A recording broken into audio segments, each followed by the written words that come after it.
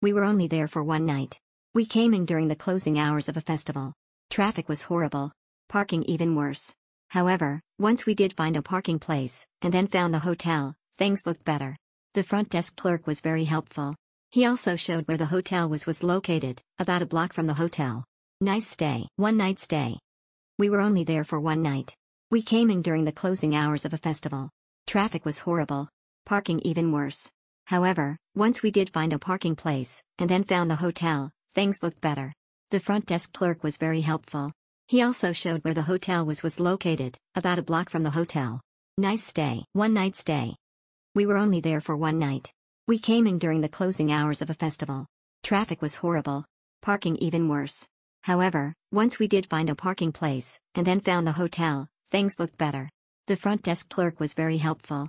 He also showed where the hotel was was located, about a block from the hotel.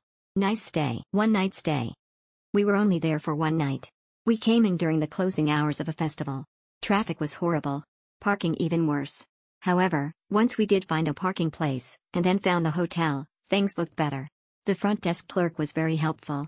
He also showed where the hotel was was located, about a block from the hotel. Nice stay. One night stay.